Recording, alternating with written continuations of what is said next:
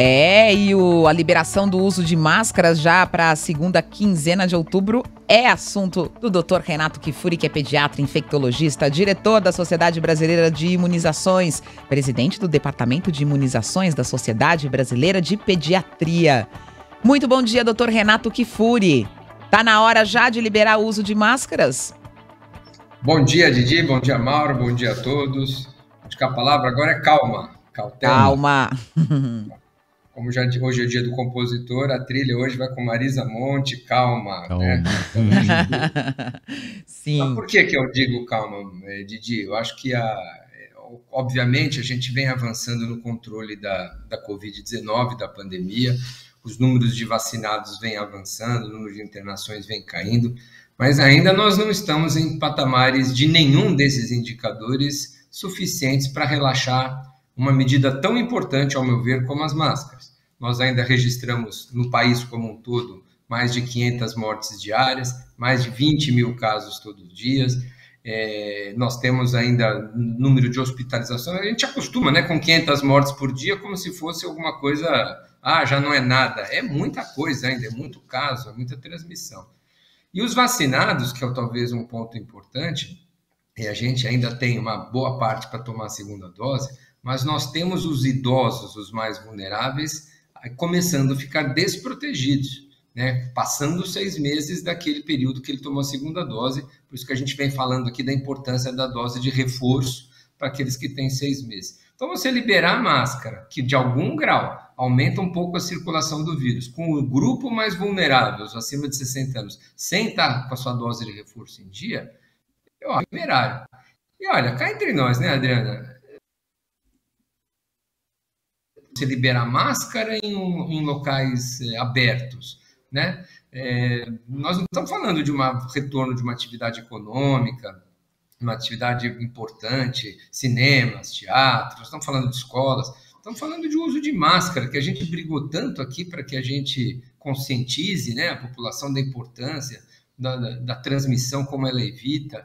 É uma, é uma, vamos dizer, uma medida que traz pouco benefício e aumenta o risco, ao meu ver.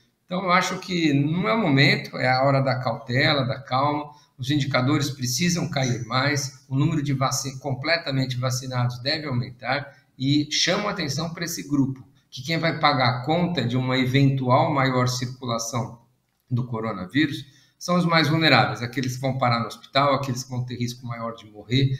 Então, para protegê-los, talvez não tanto para esses jovens que estão é, aí ao ar livre e, e, e sim para aqueles idosos que vão sofrer com uma maior circulação.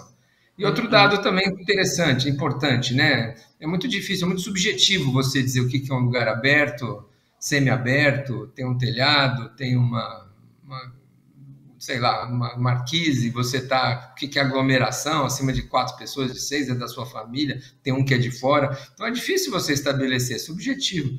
Eu, ao meu ver, manteria o uso da máscara, não traz malefícios nenhum. A gente sabe que a adesão não é total, tem muita gente que já usa incorretamente. Você vai desestimular o uso de máscara, que certamente algum impacto negativo deve trazer. Pois é, e tem, tem isso também, né, doutor Renato? Porque o, o, nosso cérebro, né, e alguns cérebros funcionam com mais boa vontade, outros com menos. É, ele, ele, quando que, é, a, a, autoridade vira e fala assim: olha, tá liberado, mas é só para espaço aberto. Alguns cérebros já entendem que liberou geral, né, doutor Renato? Então a, a sinalização não é boa, né? Exato, a comunicação, né, Mauro? A gente fala tanto de. Se você for ver pela ciência, ah, tenho algum problema, eu estar tá na praia, ao ar livre, sem ninguém ao meu redor, cinco metros, eu preciso usar máscara. É óbvio que não, todo mundo entende isso, né? Eu estou sozinho, não tem ninguém no meu raio de cinco metros, eu estou ao ar livre, eu não tenho chance de pegar nem de transmitir. Mas dali eu vou para o coco, dali eu vou encontrar a pessoa que está na praia, dali eu vou dar uma caminhada, vou encontrar alguém. É difícil você manejar isso. Então, é, a comunicação é essa mesmo. Eu acho que os cérebros é, eles são orientados, na verdade, pela, pela autoridade, que tem a responsabilidade. Então, é uma norma. A norma é usar máscara. Então, não dá para particularizar. Aqui pode, dali dois minutos não pode. Eu acho que a gente tem que ter mais, mais serenas nesse momento. E, e nós avançamos tanto e não podemos pôr tudo a perder nesse momento agora. Eu acho que o momento é realmente de cautela e esperar mais um pouco. E volto a dizer Nós não estamos falando de uma liberação, de uma flexibilização necessária, onde já está havendo um grande prejuízo econômico, social para a sociedade, todos estão sofrendo muito com isso. Pelo contrário, nós estamos muito adaptados. Duque de Caxias, no Rio de Janeiro, o prefeito liberou essa semana o uso de máscara, não precisa mais usar, e a população não, não obedeceu ao prefeito, continua todo mundo usando. Quer dizer, até a população está mais uhum. consciente, às vezes, que os nossos governantes. Os nossos governantes, às vezes, têm cérebro, é, Mauro, mas às vezes eles são assintomáticos. Então, ai, ai, ai, só rindo mesmo, viu, Renato? Maravilhoso isso. Pois é, o que eu acho também é que. É, a gente está num ambiente e todo mundo está nesse clima da retomada. Você percebeu, né? Vocês estão uhum. percebendo? Tem esse clima, ah, estamos, estamos retomando. E tem essa ansiedade para anunciar medidas, para cair, é, fazer cair restrições. Pensar no carnaval, as pessoas estão pensando no carnaval em fevereiro do ano que vem, já todo mundo na rua, milhões de pessoas sem máscara. Né? É, a gente começa a pensar nisso e deve começar a pensar nisso quando a população tiver totalmente imunizada, quando 90% da população brasileira tiver totalmente imunizada, isso já dá para pensar? Olha, esse é um parâmetro, Didi. O número de imunizados é um dos indicadores. Ah, né? Volto a dizer, né? os Estados Unidos, a Europa estava com muita gente imunizada, veio uma variante Delta e ele voltou atrás, todo mundo voltou com a máscara, voltou às restrições que já tinham. Então é possível. É claro que um evento do, do porte de um carnaval precisa ser organizado com antecedência. Ninguém vai resolver dia 20 de fevereiro que o carnaval de março vai acontecer. Ele precisa ser programado. Eu entendo que toda essa. Agora, ele precisa ser programado sempre com essa ressalva. Pode ser que lá em fevereiro, março, quando chegar o carnaval, nós estejamos vivendo a terceira onda, que será impossível realizar um carnaval com, de, com indicações sanitárias ou que não, o que será, tomara que seja, nós todos torcemos para que isso que a gente se livre logo dessa situação. Mas que a gente tem que ter o, o bom senso e a comunicação, de novo, deve ser feita de uma maneira mais é, eficiente com a população, no sentido, olha, vamos continuar usando, estamos indo bem, os dados estão melhorando, quem sabe se a gente conseguir avançar na imunização, ficar mais um pouco de massa, continuar baixando as taxas de transmissão, a gente vai chegar no carnaval, vai chegar no Réveillon, vai chegar com outra situação. Então, essa é a comunicação que a gente deve ter, né? E não esse, essa competição, como você bem disse, entre estados e municípios, querendo dizer quem vacinou mais, quem está abandonando mais, quem já voltou ao normal.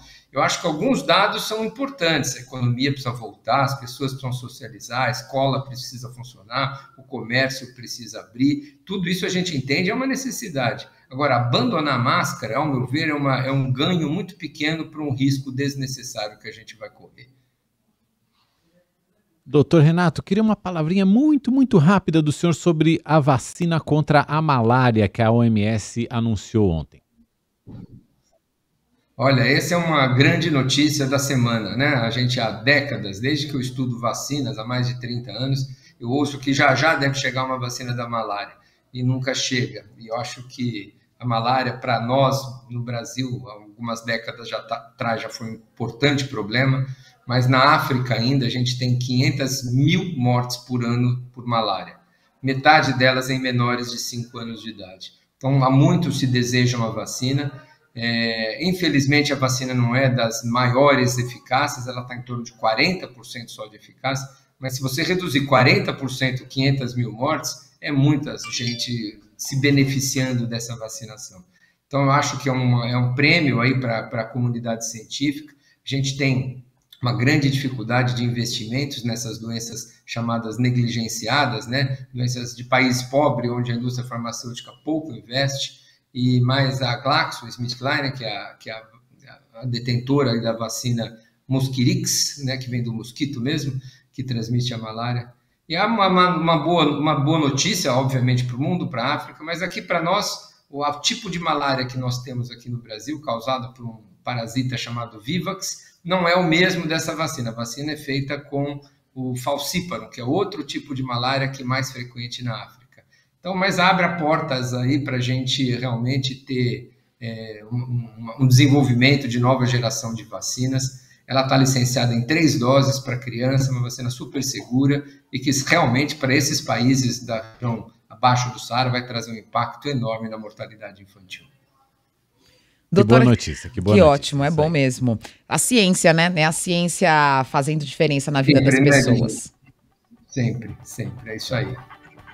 Doutor Renato Kifuri com a gente toda quinta-feira. Muito obrigada, doutor Renato.